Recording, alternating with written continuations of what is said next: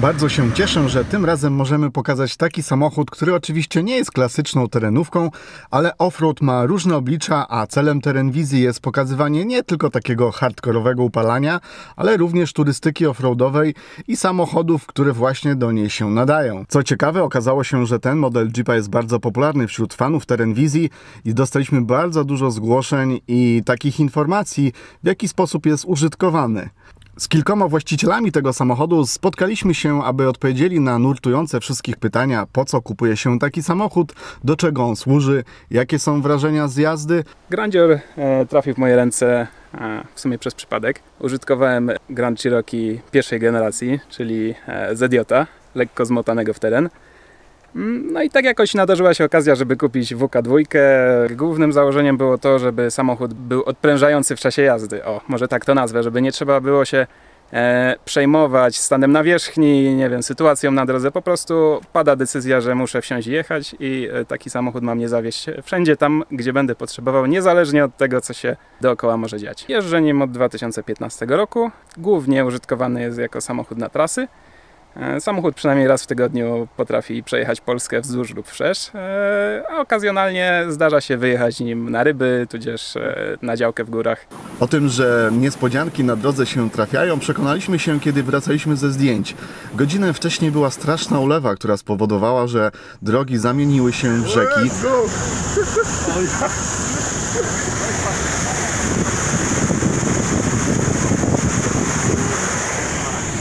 Dawaj. Ogólnie to mamy jakąś anomalię pogodową w Polsce. Nie wiemy co się dzieje, ale no jak widzicie za oknami po prostu jadę rzeką, a to nie jest rzeka, to jest droga. Problem jest taki, że opony szosowe nie mają na tyle agresywnego bieżnika, żeby w ogóle złapać trapy. Dzielnie walczyliśmy, żeby nie zakopać się gdzieś na tej polnej drodze, no ale przyznaję, że gdyby nie trapy, które zawsze wozimy w bagażniku, to chyba byśmy tutaj utknęli. Powtórzę to po raz kolejny, ale uważam, że właśnie opony to jest element, który znacznie ogranicza możliwości terenowe każdego samochodu i nawet najlepiej wyposażone auto w skomplikowane systemy wspomagania jazdy polegnie w takim błocie, jeżeli ma po prostu marne opony.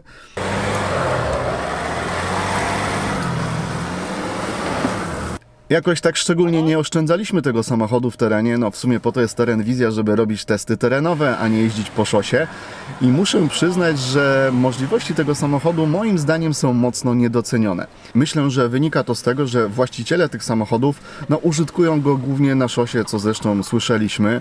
Po drugie są to jednak drogie i nowe auta, no i wiadomo, że troszkę są obawy przed tym, żeby wjechać takim samochodem w teren. Jak widać, każdy samochód jest tak terenowy, jak terenowy jest jego właściciel. Tak naprawdę w terenie nie ma się czego bać. No, oczywiście poza przednim zderzakiem, który może się szybko zweryfikować. Gdzie można się nauczyć jazdy takim autem? Oczywiście można zgłosić się do terenwizji, wtedy chętnie przeprowadzimy takie szkolenie, ale warto pamiętać, że w naszym kraju jest mnóstwo różnych torów offroadowych, właśnie przystosowanych do takiego szkolenia różnych samochodów, nie tylko wielkich terenówek. I właśnie na taki tor zabraliśmy Kasię, która sama przyznaje, że bardzo chciała kiedyś pojeździć takim autem.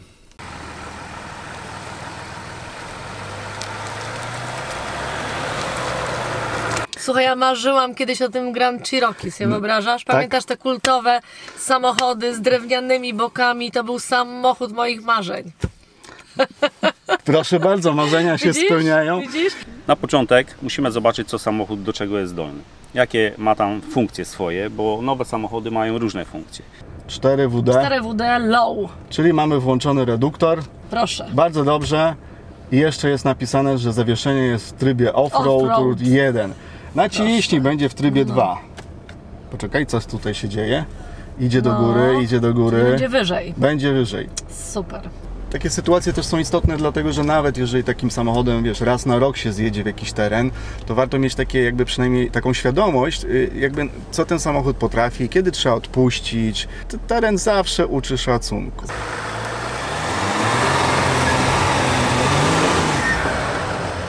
No, najeżdżamy.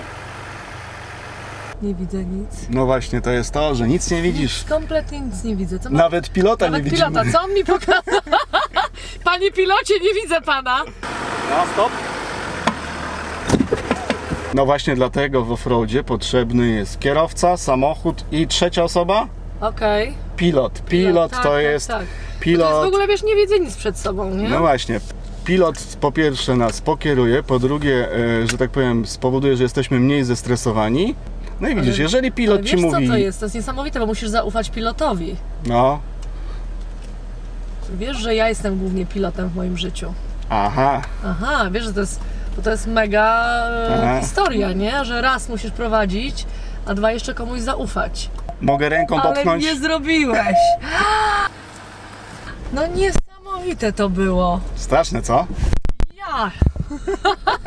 Naprawdę zachęcam do tego, żeby odwiedzić jakiś tor, który gdzieś znajduje się w waszej okolicy, dlatego że po pierwsze jest to teren, gdzie legalnie można pojeździć, po drugie na miejscu będzie instruktor, który swoim doświadczeniem spowoduje, że naprawdę bezpiecznie przejedziemy te wszystkie próby terenowe. I fajne jest to miejsce, bo faktycznie w takich bezpiecznych warunkach, y, nikomu jakby nie przeszkadzając, można potrenować i też poznać swoje możliwości, bo, bo mam wrażenie, że y, y, również to wszystko, co się dzieje na drogach, to, to czasami te fatalne efekty wynikają z tego, że po prostu nie znamy samochodów, siebie i się trochę przeceniamy.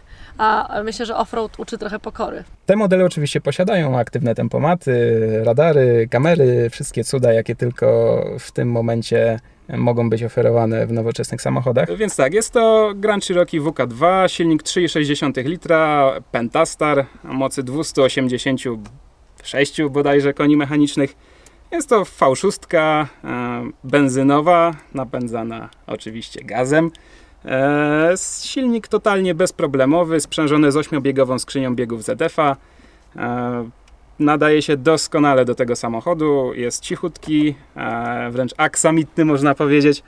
E, dość oszczędny, potrafi zamknąć się bez większych problemów między 13 a 16 litrów gazu jadąc w trasie z prędkościami oczywiście e, zgodnymi z prawem. Auta nie używam do offroadu, służy mi do jazdy na co dzień. Dużo jeżdżę po Polsce, także czy podróż do Gdańska, czy do Zakopanego zawsze kończy się sukcesem. Wiem, że auto mnie zawiezie i przywiezie. W sumie kiedy go kupiłem, miał tam w okolicach 6000 km. Po dopiero 14 tysiącach z ciężkim bólem serca założyłem instalację gazową, co bardzo polecam. Należało to zrobić dużo wcześniej.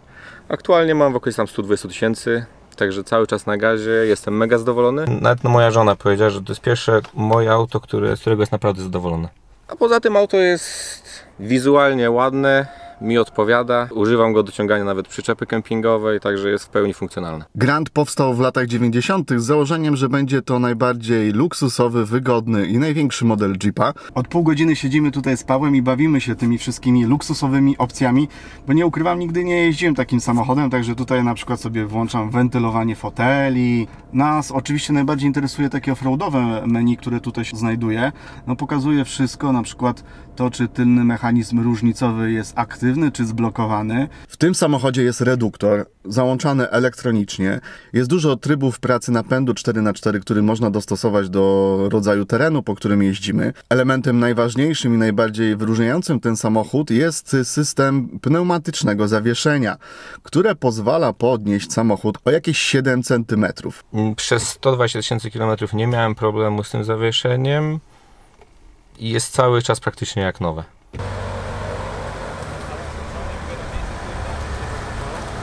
Płynnie, płynnie, płynnie, płynnie i pod górkę trochę gazu i płynnie, płynnie, płynnie. Jak samochód się lekko czujesz, że Dawaj!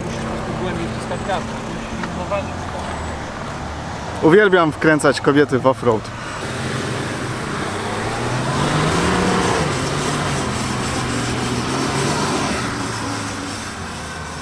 Użytkujemy go półtora roku i przejechaliśmy nim 40 tysięcy kilometrów właśnie w tym tygodniu.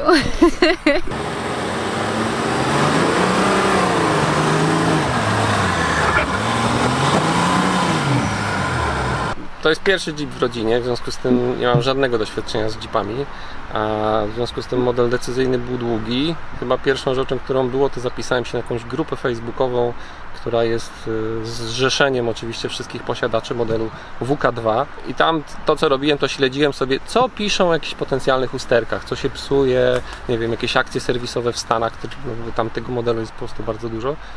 No i na tyle było w miarę bezpiecznie, jeśli chodzi o takie opinie, że uznałem, że okej, to, to nie powinienem się tego bać. Sam chyba się najbardziej boję jakichś kwestii elektroniki. To jest mój chyba największy strach trochę, że po jakichś tam, nie wiem, miesiącach, latach użytkowania jakieś elementy poszczególne związane z elektroniką zaczną się psuć. Ale mówię, cały ten model poszukiwania był trochę w oparciu o doświadczenia innych. Nikt mnie tam nie przestraszył na tyle, żeby mnie odwieść od zakupu.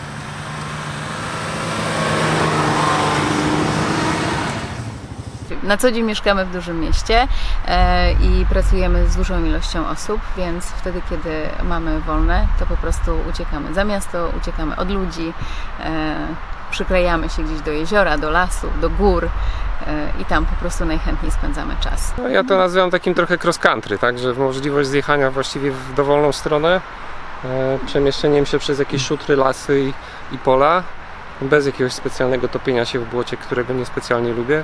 Rocznikowo 17, model Grand Cherokee w wersji Trailhawk. Najbardziej, nazwijmy, uterenowiona wersja e, Grand Cherokee, ma jakieś dodatkowe osłony w podwoziu, ma trochę więcej trybów prac niż e, inne modele. No, na, najważniejsze nie ma chromów, tak więc wygląda tak bardziej e, cywilnie niż e, jakiś super e, ekskluzywny samochód. W oryginale ma od razu 18-calowe e, koła AT, e, wzmacniane całoroczne, więc jakby właściwie po wyjechaniu z salonu mogliśmy nim wjechać w dowolne miejsce, bo właściwie posi- posiadał wszystko, co, co moglibyśmy sobie używać gdzieś poza asfaltem. Ten samochód na razie służy w codziennym życiu oczywiście i pracy, natomiast e, poszukiwanie auta dotyczyło samochodu, który no, przez następne, nie wiem, 10 lat będzie służył co najmniej jako samochód z docelowym przeznaczeniem także do takich jakichś dalekich, nawet kilkunastotysięcznokilometrowych wypraw. Z parkowania nie korzystam, bo parkowania nauczył mnie mój mąż i nie muszę na mieście korzystać z funkcji parkowania. Natomiast y, chętnie zimą podgrzewam sobie ręce na kierownicy. W długiej trasie faktycznie korzystam e, z tempomatu e, i fajne jest to, że e, ten samochód pilnuje odległości pomiędzy innymi pojazdami na drodze. Na co dzień no to faktycznie aktywny tempomat, tak? Nawet w mieście mi się zdarza korzystać, bo daje dużą wygodę, aczkolwiek uważam też, że to jest jakaś forma też ryzyka, że człowiek się przyzwyczaja, że samochód za niego hamuje, wręcz jest w stanie się zatrzymać w miejscu w korku i żeby później nie złapać takiego nawyku, że o, ktoś tu za mnie zahamuje, a, a tempomat jest wyłączony, tak? I faktycznie przyspiesza niesamowicie.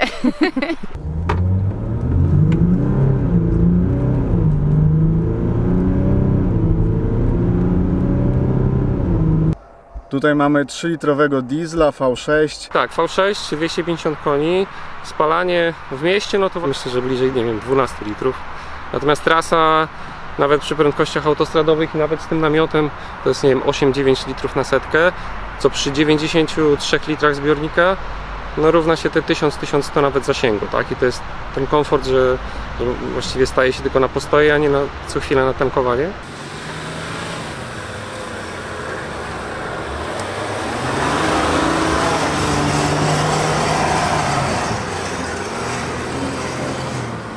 Po to się ma pilota, widzisz? Najważniejsze chyba jest to, że, że wygoda jazdy w tym samochodzie pozwala pokonać w ciągu, nie wiem, dosłownie dwóch, trzech dni 2 czy 3 tysiące kilometrów. Wstawanie rano i wsiadanie na kolejną trasę nie jest bolesne, tylko jest przyjemnością na zasadzie takiej, ok, wsiadam, mam wygodne fotele, Wsteczny gaz, lecimy. Gaz, gaz, gaz, gaz, gaz, gaz, gaz. Stop, bardzo ładnie. Idę po drugą. Dlatego te profesjonalne, Gdzie jest? te profesjonalne mają GPS. A druga gdzie jest? Ona jest gdzieś tutaj? Że tu się będziemy łapać? Gaz, gaz, gaz, gaz.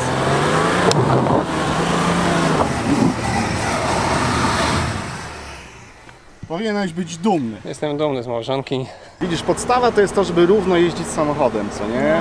I- Ale to strasznie trudne jest. Nie jest Jak się trudne. nie ma doświadczenia, naprawdę to jest y, bardzo trudne, bo to jest taka obawa, że jak dodam gazu, to właśnie coś się wydarzy, że, że będzie coś złego. Właśnie Wiesz? dlatego jest taki problem, że wiele osób nie, jakby nie wykorzystuje możliwości samochodów, bo nie ma się gdzie tego nauczyć, nie? Że to Mhm. jest takie, wiesz, no jedziesz, pojedziesz sama tutaj, to byś, no co zrobiłem? Dlatego warto spotkać kogoś, przejechać się i się nie bać, no bo tutaj naprawdę nic złego się nie stanie. No co możemy się zakopać, tak dam sobie radę.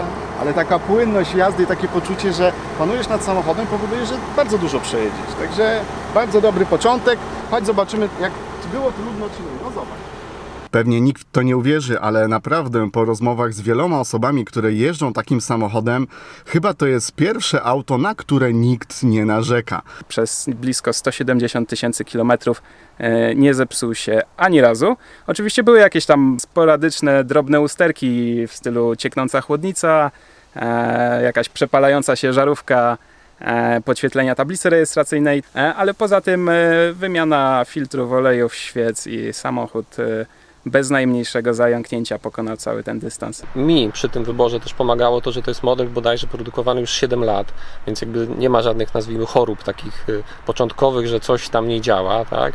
Dwa, w jakimś momencie dołożono tutaj 8-biegowy automat, który powoduje, że naprawdę nie słychać tego silnika i przy prędkościach, nie wiem, 130-140 autostradowych jest tu po prostu cicho, co znowu ma, no, przekłada się na, na, na, na tą jakąś wygodę, wygodę jeżdżenia. Ja mam takie zdanie, że na takie auta należy spojrzeć z pewnej perspektywy, mianowicie kiedy pojawiła się pierwsza generacja takiego Jeepa, który z założenia miał być limuzyną, też pojawiły się głosy, że na pewno Grand Cherokee w teren nie zjedzie. Chociaż pierwsza wersja była najbardziej terenowa, bo miała dwa sztywne mosty i tak dalej. Lata lecą i co się okazuje? Grand Cherokee w każdej wersji, z każdej generacji śmiga w terenie. Te samochody są coraz bardziej modyfikowane, dostosowywane do terenu. Także kto wie, może za parę lat właśnie Grand Cherokee będzie bardzo popularnym samochodem do takiej rodzinnej turystyki offroadowej, do której moim zdaniem doskonale się nadaje. Jeśli ktoś planuje, myśli właśnie w taki sposób, że nie szuka samochodu, który prostu wjedzie nim wiem, właśnie w błoto i będzie go gdzieś tam katował po jakichś, po bagnach, to nie, ale jeśli to jest, miało być auto właśnie takie mocno, mocno wyprawowe z przebiegami rzędu 5, nie wiem, 10 tysięcy w ciągu, nie wiem, 2-3 tygodni, to jest moim zdaniem bardzo, bardzo dobre auto właśnie w takim kierunku e, podróżowania, jeśli chodzi o, o jego wygodę i możliwości. No. Na pewno polecam go każdemu, kto oczekuje od samochodu niezawodności, ponieważ ani razu nie zawiódł, przynajmniej mnie. E, Na pewno polecam go komuś, kto e, lubi podróżować albo musi podróżować na duże odległości i niekoniecznie chce e, wysiadać z samochodu zmęczony, ponieważ jazda nim totalnie odpręża. Jak najbardziej jest to odpowiedni samochód dla kogoś, kto potrzebuje, e, jakby to powiedzieć, w dobrym tonie się pokazać, ponieważ e, Jeep od razu powoduje, że ktoś, kto nim przyjechał, musi być osobą, no, no powiedzmy to, e, spoko.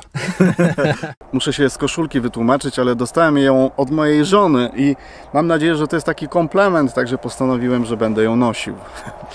Chyba.